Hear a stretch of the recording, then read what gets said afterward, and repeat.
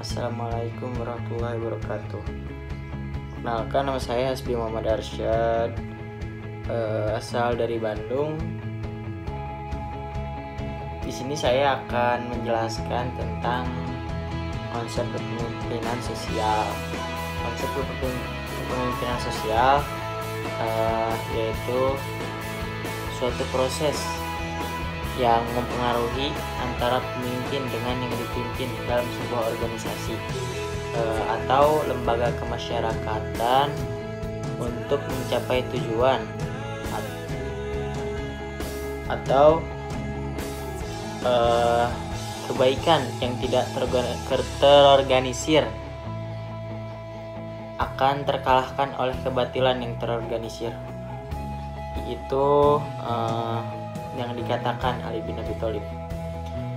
Dan adapun karakteristik dari jiwa kepemimpinan yaitu uh, transpirasi, berbagai proses pengambilan keputusan, terus mendengarkan tanpa interupsi, terus uh, tumbuh terus jiwa kepemimpinan, dalam bekerja selalu bertanya uh, dan yang terakhir bekerja sama dan mau gitu turun ke lapangan. Dan yang selanjutnya ada sifat-sifat kepemimpinan yaitu ada sidik uh, tablik sama amanah. Dan sifat yang harus dihindari yaitu ada kita punya misalkan punya kelebihan. Jadi kita tuh merasa lebih gitu dari uh, apa sih kemampuan kita.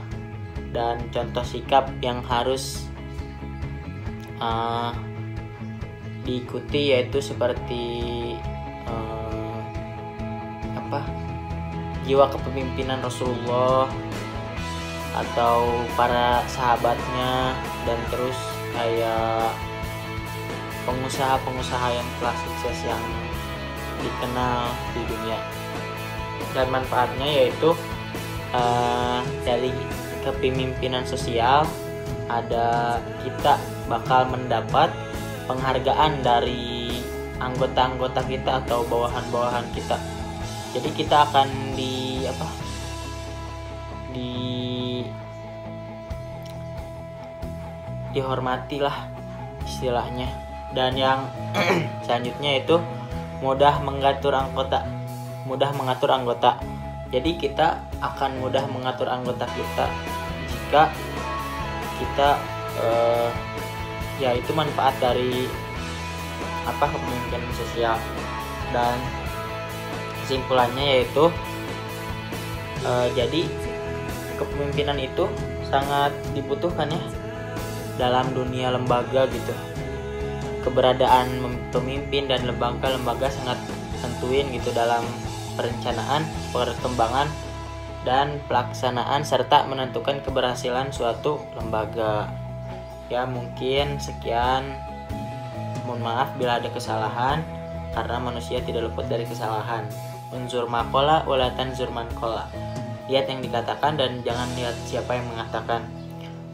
Uh, aku lupa lihat Assalamualaikum warahmatullahi wabarakatuh.